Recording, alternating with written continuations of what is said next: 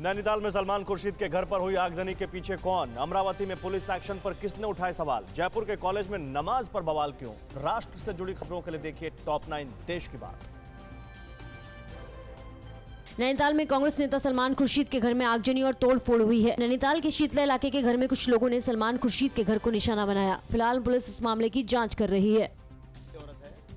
Samajwadi party के नेता अब्बू आजमी ने कंगना रनौत पर विवादित बयान दिया है। उन्होंने कहा कि कंगना को गिरफ़्तार करके जेल भेज देना चाहिए। उन्होंने आजमगढ़ का नाम बदलने पर भी सरकार को चेतावनी दी और कहा कि आजमगढ़ का नाम बदला तो उनका नाम भी अब्बू आर्यम होगा। अमरावती हिंसा मामले में कई बीजेपी नेताओं समेत 50 से ज़्यादा आरोपियों की गिरफ्तारी हुई है। पूर्व मंत्री अनिल बोंडे को भी अरेस्ट किया गया इस मामले में पुलिस ने 15 एफआईआर दर्ज की। इस बीच कई बीजेपी नेताओं के घरों पर छापेमारी भी हुई।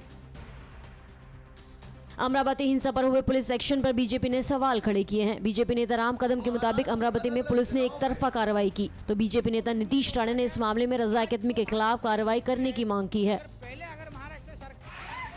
दिल्ली के जेएनयू में एक बार फिर एबीपी और लेफ़्ट समर्थक एआईएसए के छात्र गुटों के बीच झड़प हुई। एबीपी के मुताबिक जेएनयू में मीटिंग के बाद एआईएसए से जुड़े छात्रों ने आकर उनसे मारपीट की। इस झड़प में एबीपी से जुड़े कई छात्र घायल हुए हैं और पुलिस जाँच में जुटी है।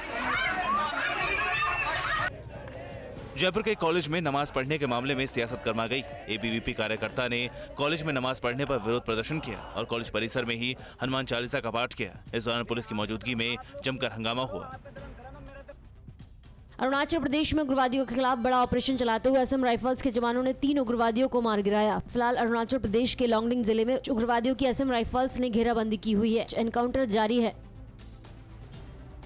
मणिपुर हमले में शहीद हुए कर्नल विप्लव त्रिपाठी और उनके पति पत्नी का शव जब छत्तीसगढ़ के रायपुर पहुँचा तो हज़ारों लोगों की आँखें नम थीं। शहीद को भावभीनी श्रद्धांजलि देने के लिए पूरा शहर उमड़ पड़ा। पूरे सम्मान से शहीद को अंतिम विदाई दी गई।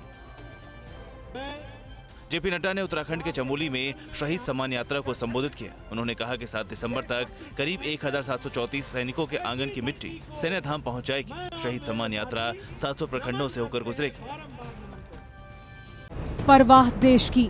सोमवार से शुक्रवार रात 10 बजे टीवी 9 भारतवर्ष पर।